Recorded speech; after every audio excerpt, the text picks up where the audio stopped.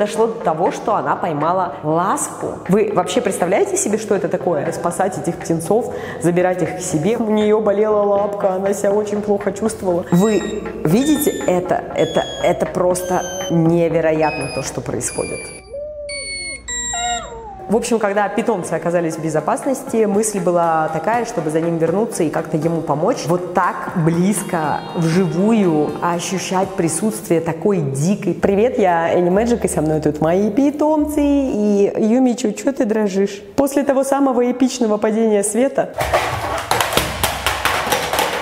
он больше не упадет, он больше тебя не напугает. Зачем ты опять лижешь мой нос, покемон? В общем, да, мы немножко пропали, потому что происходит просто какое-то нереальное количество дел, э, нереальное количество событий. Я даже не представляю, как это все рассказать, но я очень постараюсь. Я решила сегодня снять видео о том, как проходит наше лето. Потому что проходит оно очень эпично, и я думаю, что вы просто офигеете сегодня от всего того, что вы увидите. Ну что, расскажем сегодня ребятам про наших новых питомцев. Поэтому, если вам понравится такой формат, ставьте лайк обязательно. Пишите свои комментарии, я не буду долго тянуть, они появляются вот тут в видео. Подписывайтесь обязательно на канал, когда-нибудь у нас будет 3 миллиона. Ну и приходите там общаться со мной в Телеграм и все такое.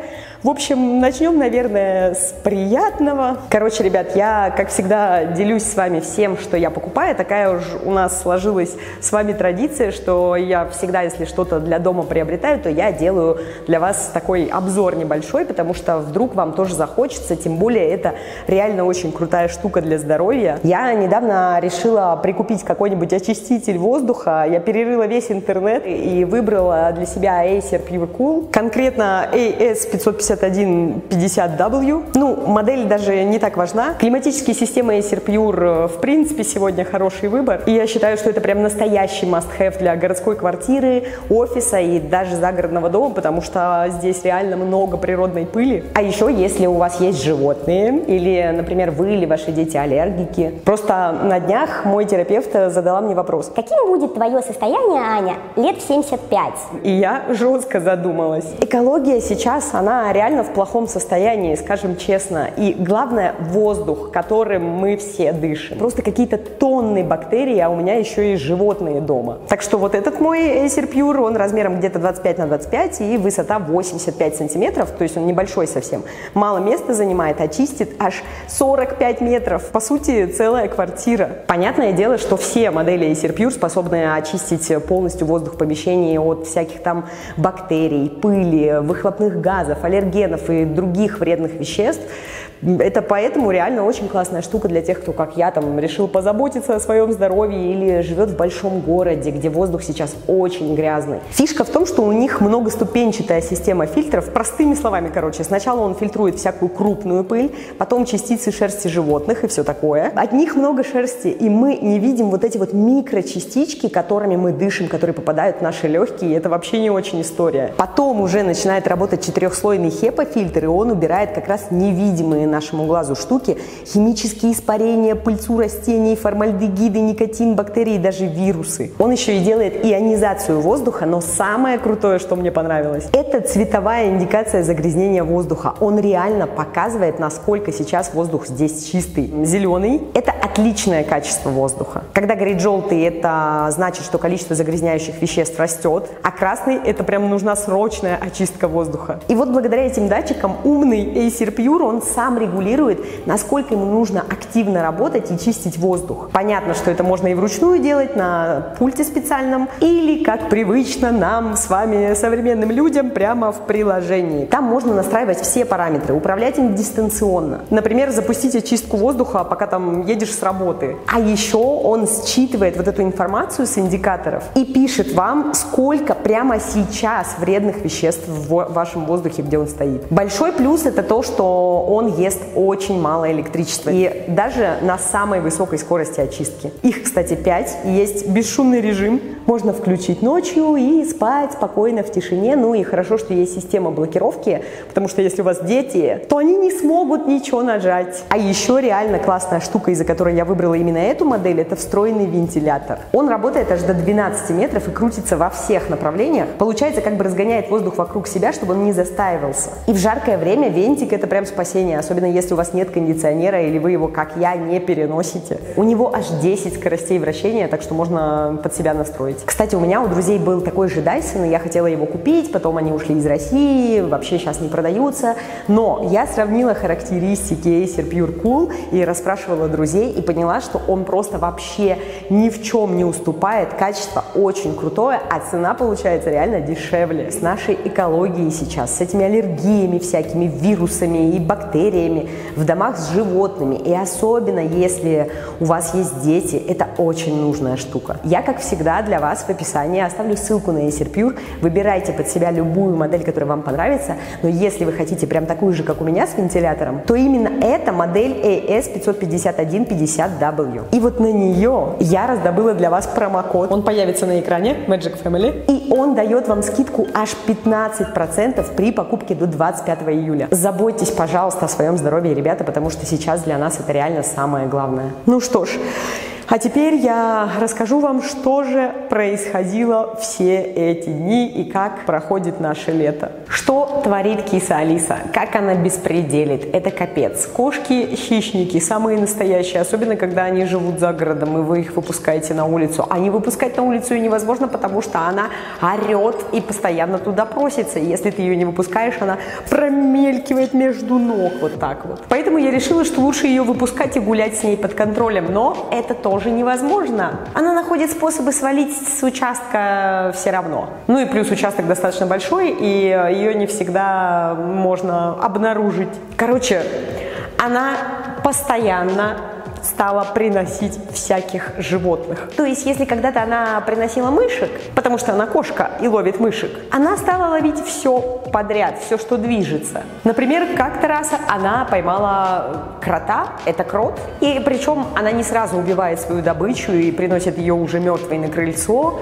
Нет, она очень долго играет со своей жертвой. Кто-то скажет, зачем ты это снимаешь, почему ты не спасла кротика и так далее. Поверьте, я спасала достаточное количество животных от кисы Алисы. И это просто невозможно. Поэтому, если кто-то меня сейчас обвинит в жестокости, извините. Жизнь такова, что кошки хищники, они охотники, и я не могу ничего с этим поделать. Она даже на лягушек умудряется охотиться. Она пытается поймать лягушек, она играет даже с лягушками, даже с жабами, с какими-то рептилиями, то есть не просто с какими-то животными, которых она может съесть, да, ну как бы, как хищник. А один раз она притащила домой ящериц, ящерицу. Причем она принесла ее уже даже домой. Она не просто на улице с ней играла, она где-то по пути оторвала ей хвост. Точнее, видимо, ящерица отбросила хвост и попыталась от нее убежать, но ей это не удалось, и Алиса принесла ее в зубах прямо домой. У кисы Алисы очень много игрушек, кошачьих игрушек, когтеточек и всего, но нет, ей хочется идти в природу, в живой мир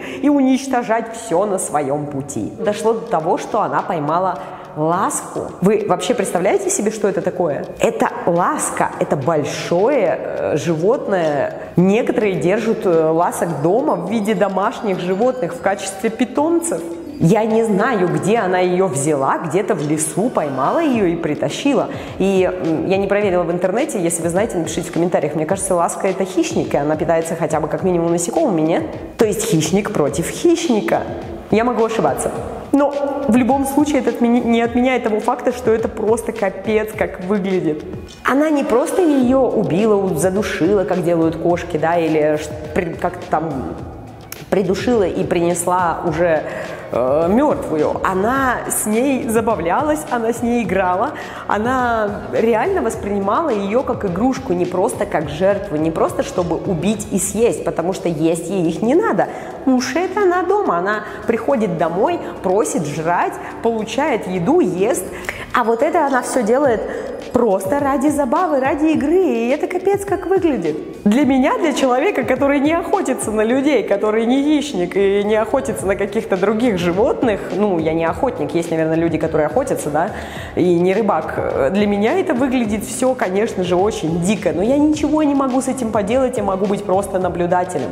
Вот так проходят летние каникулы у кисы Алисы. Она просто ежедневно, ежедневно изо дня в день находит себе какую-нибудь жертву, которую она уничтожает, с которой она играет, которую она притаскивает домой, которую она мучает, которую она съедает иногда. И с этим ничего поделать нельзя. И запереть ее дома и не выпускать тоже нельзя. Можно было бы эту ласку сделать э, своим питомцем, но киса Алиса бы ее, наверное, убила. То есть ей бы пришлось жить только в клетке, как хомячкам, потому что многие котики убивают хомячков. И, скорее всего, киса Алиса бы в конце концов ее тоже грохнула. По поводу новых питомцев я еще вам кое-что дальше расскажу. Была даже одна очень грустная история. Как-то раз киса Алиса принесла маленького, очень маленького птенчика, которого она убила.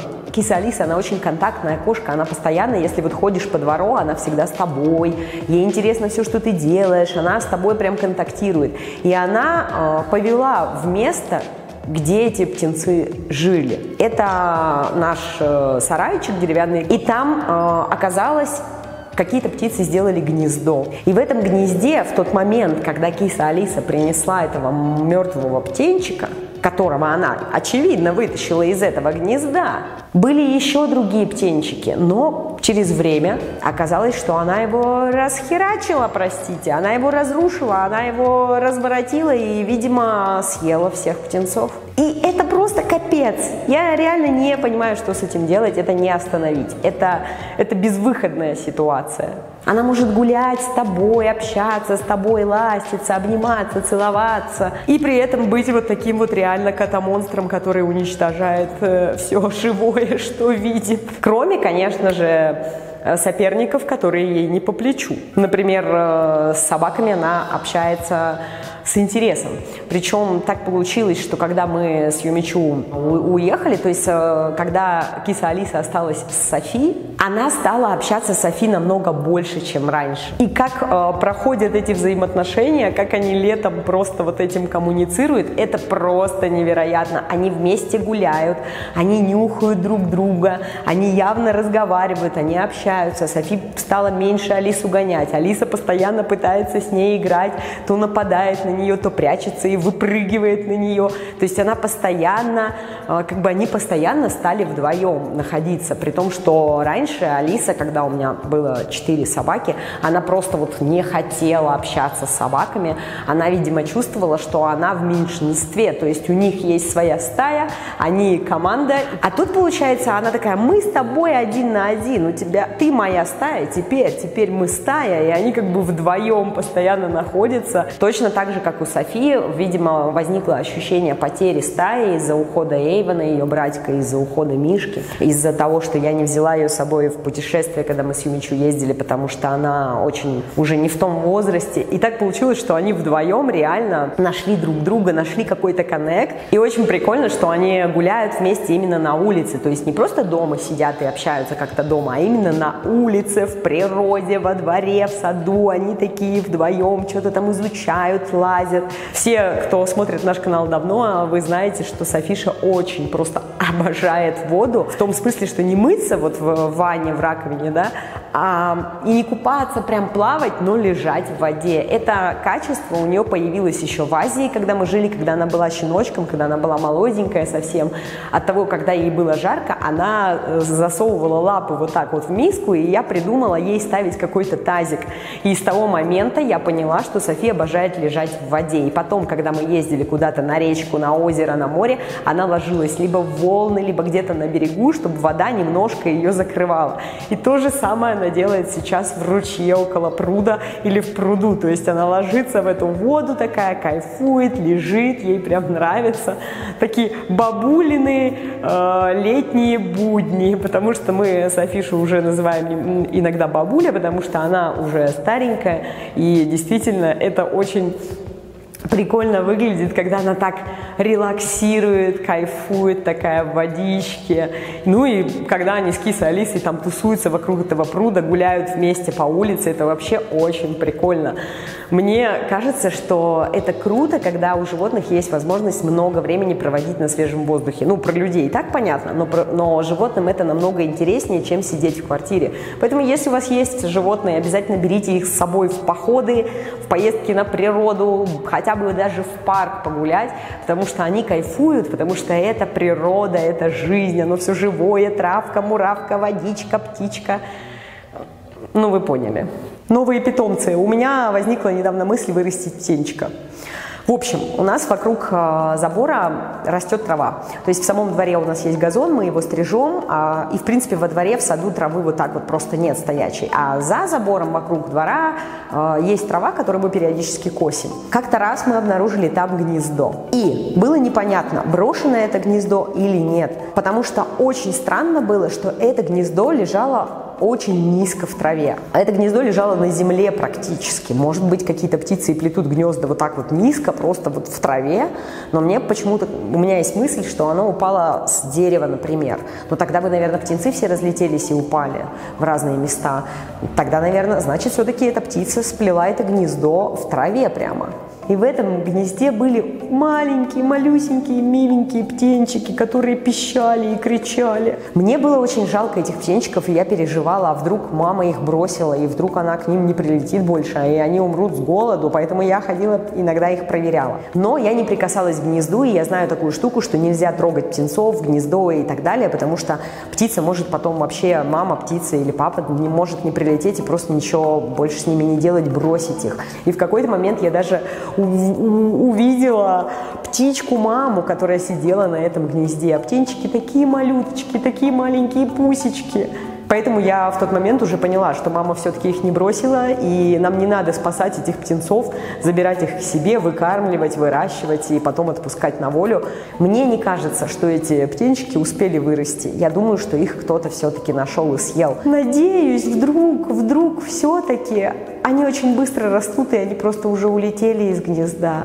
Но это было слишком короткое количество дней, так что вряд ли, да. Вот такие вот летние каникулы. Случаются и очень печальные истории на летних каникулах. Э, в общем, Софиша наступила на пчелу. Или осу в общем, на какое-то насекомое, да, с таким вот жалом, которое ужалило ее в лапку, и жало пришлось вытаскивать и давать Софише сразу антигистамин. В некоторых случаях, если не помогает антиаллергенное лекарство, почему аллерген, антиаллергенное, не знаю, в курсе вы или нет, что у собаки от э, укуса пчелы, осы и так далее может произойти очень адский отек, и собака, некоторые собаки могут даже умереть от этого. Я очень запереживала за Софи, и надо в первую очередь дать антиаллерген, чтобы не случилось вот этого отека. Я дала ей этот антиаллерген, и на всякий случай тоже также можно давать дексаметазон, это гормон, колоть его прямо уколом. У нас были такие случаи, когда приходилось вкалывать дексаметазон животным при укусе.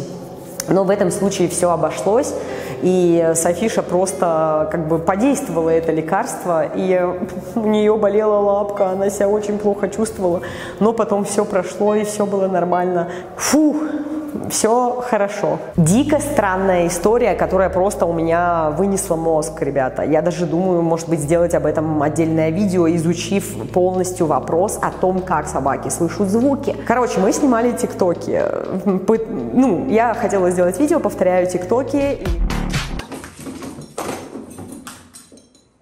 В какой-то момент я решила снять ТикТок, в котором э, показывают э, собаки видео, в котором есть какой-то звук. Там типа написано, покажите это видео собаки и посмотрите на ее реакцию, как она будет реагировать на этот звук. И все собаки в ТикТоке реагируют именно так на этот звук. Но не это меня удивило. Меня удивило то, что было дальше с Юмичу.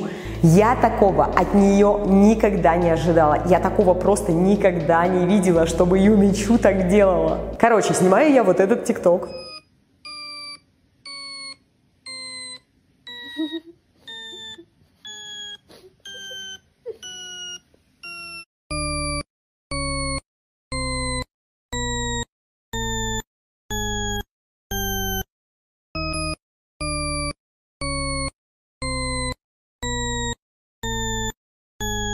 Естественно, Юмичу реагирует в этом ТикТоке так же, как все собаки, вот так вот делает ушами, не понимая, что это за звук, но она молчит. То есть она просто смотрит на это и не понимает, она явно слышит какой-то какой сигнал, да, потому что не, не, далеко не все и далеко не всегда собаки реагируют на музыку, на разные звуки. Если вы просто включите музыку, собака может ее просто игнорировать, она может ее не понимать, не слышать.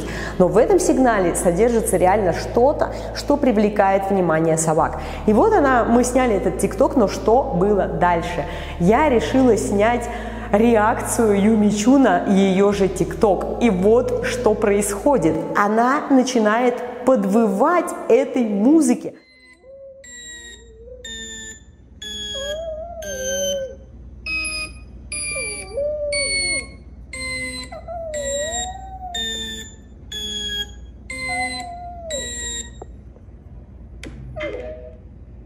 Что, певица, что ли? Причем, если бы это были прям негативные эмоции, вы помните, когда мы проверяли ультразвук, да? Я включала ультразвук, и собаки просто разбегаются, потому что им неприятен этот звук. Они хотят его избежать, они хотят убежать, спрятаться куда-нибудь.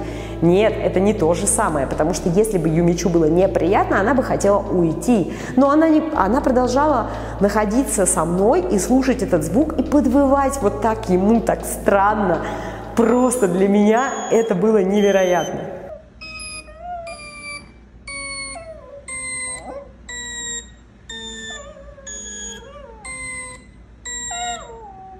Вы видите это? Это, это просто невероятно то, что происходит. Она никогда так не делала. Юмичу не воет и не поет, но увидев это видео, она начала вести себя вот так.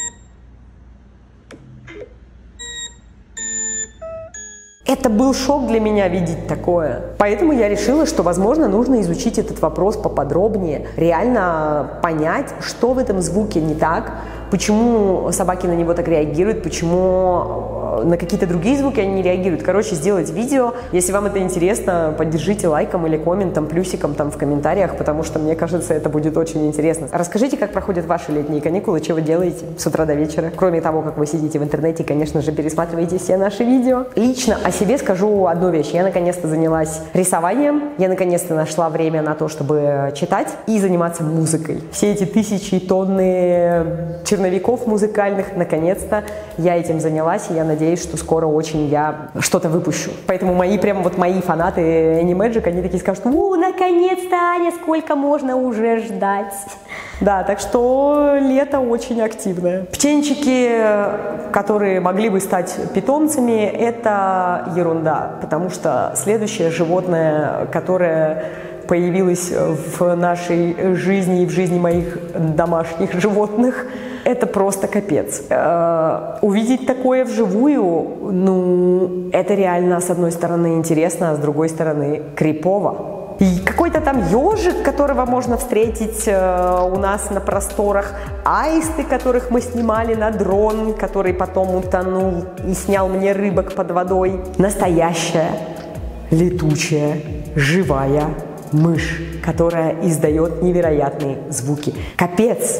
А ситуация была такая, уже вечером э, киса Алиса услышала явно какой-то звук и привела в итоге к э, месту, где находился этот летучий мышонок. Сначала он сидел в траве, и было слышно только очень странный звук.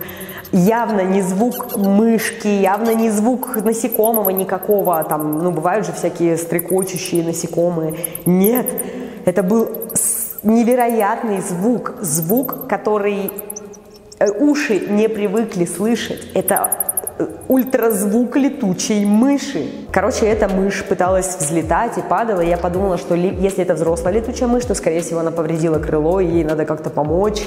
А если это маленький мышонок, то он, может быть, просто не умеет летать и вывалился откуда-нибудь тоже как птенчик из гнезда, мама его бросила, потеряла, и я не знаю, вот они в стаями живут же летучие мыши, да, вряд ли они одиночки, поэтому, скорее всего, он потерялся, он оторвался от своей семьи, от своей стаи, и кисалиса просто сейчас может его замочить.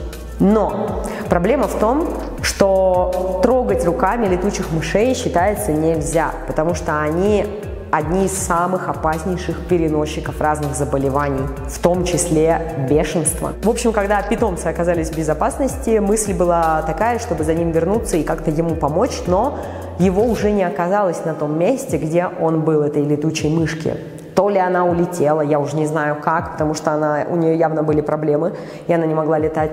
То ли кто-то ее утащил, я не знаю. В общем, куда-то она делась. Может быть, она, конечно, спряталась просто в какое-то другое место, где было ее не найти, и была уже ночь, и потом просто было невозможно ее обнаружить. А днем ее тоже нигде не было. То есть она просто куда-то исчезла.